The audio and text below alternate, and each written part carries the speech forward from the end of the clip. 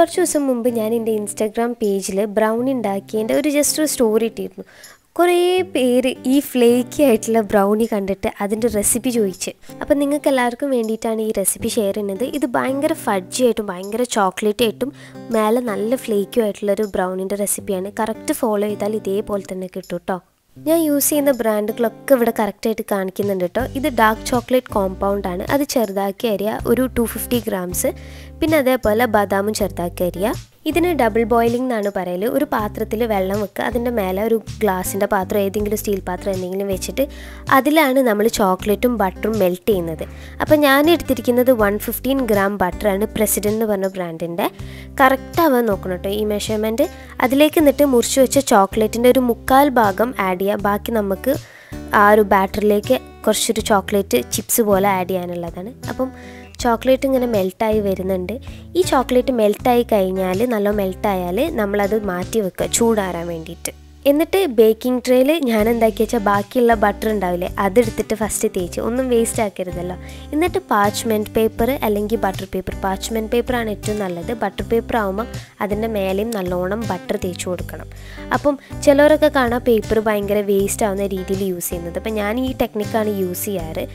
അതായത് മുറിച്ചിട്ട് ഉള്ളിലേക്ക് ആക്കി കൊടുത്താൽ കറക്റ്റ് ഷേപ്പിന് നമുക്ക് കിട്ടും. ബേക്കിംഗ് ട്രേ റെഡി ആയി കഴിഞ്ഞാൽ അത് മാറ്റി വെച്ചിട്ട് നമുക്ക് ബാറ്റർ ഉണ്ടാക്കാം. ഫസ്റ്റ് തന്നെ ഒരു three by four cup sugar അപ്പോൾ പഞ്ചസാര തീരെ അത്ര താല്പര്യമില്ലാത്തവരാണെങ്കിൽ ഇത്രയും എടുക്കേണ്ട ചിലപ്പോൾ ഹാഫ് കപ്പ് മതിയാവും. എന്നിട്ട് കോഴിമുട്ട ഓരോന്ന് ഓരോന്ന് ആഡ് ചെയ്തിട്ട് നല്ലോണം മിക്സ് ചെയ്യുക. അപ്പോൾ കോഴിമുട്ട ആഡ് ചെയ്യുമ്പോൾ ശ്രദ്ധിക്കേണ്ട എന്താ വെച്ചാൽ കേടില്ലല്ലോ എന്ന് ഉറപ്പ് വരുത്തിയിട്ട് പൊട്ടിച്ചിടുക. കാരണം ഒന്നായിട്ട് ബാറ്ററി കേടായിപ്പോവും അങ്ങനെ നല്ലോണം നല്ലോണം ഇളക്കി കൊടുത്ത് നല്ല ക്രീമി ആവുന്ന വരെ ചെയ്യുക. ബാറ്ററിൽ കുറച്ച് ബബിൾസ് ഫോം ചെയ്യാൻ തുടങ്ങിയാൽ ഇളക്കുന്നത് നിർത്തുക.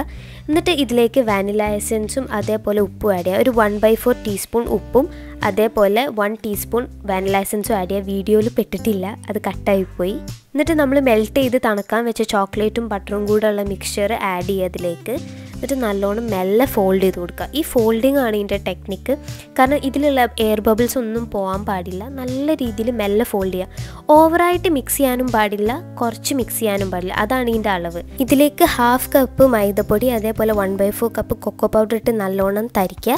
എന്നിട്ട് ഇതിലേക്ക് ഹാഫ് ടീസ്പൂൺ കുറച്ച് കോഫി പൗഡർ ആഡ് ചെയ്യുക. ഈ കോഫി പൗഡർ ഇടുമ്പം ഭയങ്കര തന്നെ ചോക്ലേറ്റിനെ എൻഹാൻസ് ചെയ്യാനെ ഹെൽപ്പ് ചെയ്യും. എന്നിട്ട് ഇത് തന്നെ മെല്ലെ ഫോൾഡ് ചെയ്ത് കൊടുക്കുക. ഇതേ ഫോൾഡിങ് ടെക്നിക്കിൽ തന്നെ. ഓവറായിട്ട് മിക്സ് ചെയ്യരുത് കേട്ടോ ഇത് എന്നിട്ട് നല്ലൊരു ക്രീമി ചോക്ലേറ്റി ആ ഒരു ലുക്കിലേക്ക് ആയി കിട്ടും. ഇത് നേരെ നമ്മൾ ആ നേരത്തെ ആക്കി വെച്ച ട്രേയിലേക്ക് ഒഴിച്ചു കൊടുക്കുക.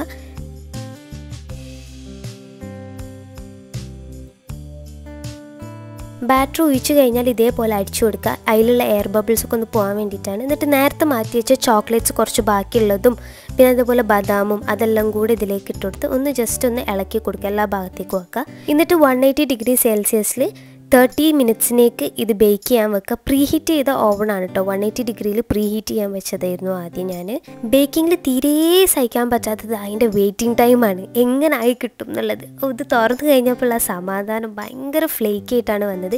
ഇത് ചൂടാറിയിട്ട് ട്രെയിന്ന് പുറത്തെടുക്കാൻ പാടുള്ളൂ കേട്ടോ എന്നിട്ട് അതേപോലെ കത്തിയെടുക്കുമ്പോൾ അതൊന്ന് ചൂടുവെള്ളത്ത് മുക്കിയിട്ട് ആ വെള്ളം തുടച്ചു കളഞ്ഞിട്ട് വേണം കട്ട് ചെയ്യാൻ. അപ്പോൾ നമുക്ക് നല്ല പെർഫെക്റ്റ് ആയിട്ട് കിട്ടും.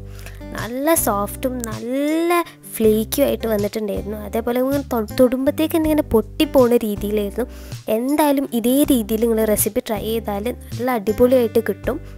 വേണമെങ്കിൽ നിങ്ങൾക്ക് ബദാമിന് പകരം വാൾനട്ടോ എന്തും ആഡ് ചെയ്യുക മസ്റ്റായിട്ട് ട്രൈ ചെയ്യേണ്ട റെസിപ്പിയാണ് ഈ വീഡിയോ ഇഷ്ടമായിട്ടുണ്ടെങ്കിൽ എന്തായാലും ലൈക്ക് ചെയ്യാനും ഷെയർ ചെയ്യാനും സബ്സ്ക്രൈബ് ചെയ്യാനും മറക്കരുത്. എനിക്ക് ആ മേലുള്ള ഫ്ലേക്കി ആയിട്ടുള്ള ഭാഗം കണ്ടിട്ടുള്ള ഒരു സന്തോഷം ഇപ്പോഴും തീരുന്നില്ല. Thank you so much for watching the video